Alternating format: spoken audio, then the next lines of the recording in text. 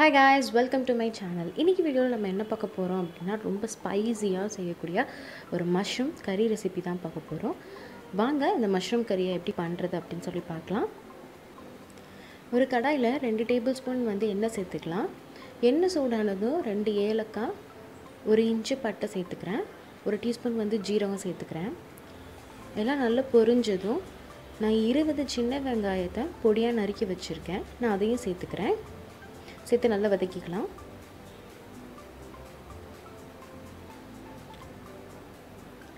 நான் இன்றைக்கி சின்ன வெங்காயம் சேர்த்துருக்கேன். உங்களுக்கு பெரிய வெங்காயம் சேர்த்துக்கணும் அப்படின்னா நீங்கள் அது கூட சேர்த்துக்கலாம். வெங்காயம் நல்லா வதங்கினதும் நான் நாலு பச்சை மிளகாவை கீறி வச்சுருக்கேன். அதை சேர்த்துக்கலாம். சேர்த்து நல்லா வதக்கிக்கலாம்.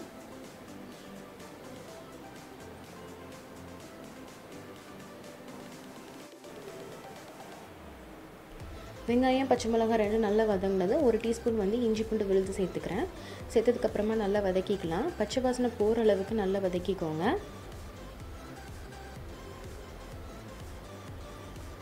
இஞ்சி பூண்டு நல்லா வதங்கினதும் ஒன்று டீஸ்பூன் வந்து நான் வத்தப்பொடி சேர்த்துக்கிறேன். ஒரு டீஸ்பூன் வந்து தனியா பொடி சேர்த்துக்கிறேன். அரை டீஸ்பூன் வந்து ஜீரக போட்டு சேர்த்துக்கிறேன். கால் டீஸ்பூன் வந்து மஞ்சத்தூள் சேர்த்துருக்கேன். கொஞ்சமாக தேவையான அளவு உப்பு சேர்த்துருக்கேன். எல்லாம் சேர்த்ததுக்கப்புறமா நல்லா வதக்கிக்கலாம்.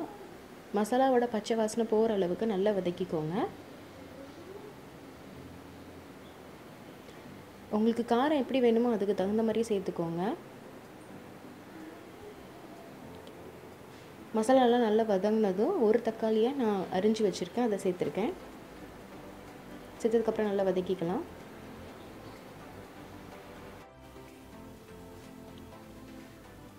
தக்காளி எல்லாம் நல்லா வதங்கினதும் நான் இரநூறு கிராம் மஷ்ரூமை கட் பண்ணி வச்சுருக்கேன். அதை சேர்த்துக்கலாம்.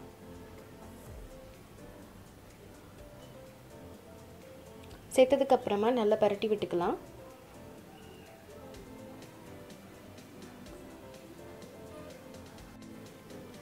மசாலா எல்லாம் மஷ்ரூமில் படுற அளவுக்கு நல்லா பரட்டிக்கோங்க.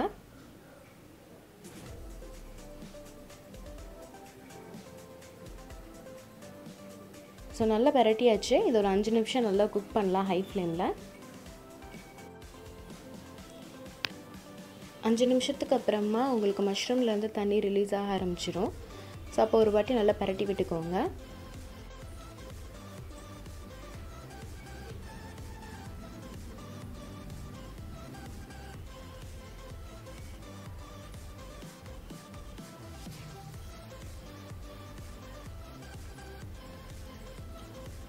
நல்லா வதக்குனதுக்கப்புறமா நான் அரை டீஸ்பூன் வந்து கரம் மசாலா சேர்த்துருக்கேன். கொஞ்சமாக கருவேப்பிலை சேர்த்துருக்கேன்.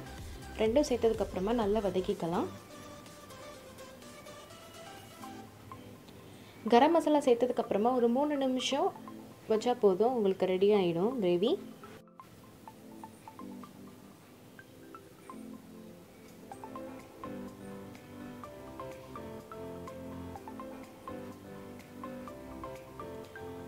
ஸோ அவ்வளோதான் ரெடி ஆகிடுச்சு ஸ்பைசி மஷ்ரூம் கறி இது சாதத்துக்கும் நீங்கள் வச்சு சாப்பிட்லாம். சப்பாத்திக்கு பரோட்டாக்கு கூட வச்சு சாப்பிட்லாம். ரொம்ப டேஸ்ட்டாக இருக்கும். வீட்டில் எல்லோரும் ட்ரை பண்ணி பாருங்கள் ட்ரை பண்ணி பார்த்துட்டு ஃபீட்பேக் எனக்கு ஷேர் பண்ணுங்கள் உங்கள் எல்லாருக்கும் இந்த வீடியோ பிடிச்சிருக்கும் அப்படின்னு நினைக்கிறேன். பிடிச்சிருந்துச்சுன்னா லைக் பண்ணுங்கள் ஷேர் பண்ணுங்கள் கமெண்ட் பண்ணுங்கள் மறக்காமல் சப்ஸ்கிரைப் பண்ணுங்கள் பக்கத்தில் இருக்க பெல் ஐக்கானையும் கிளிக் பண்ணுங்கள் தேங்க்யூ ஆல்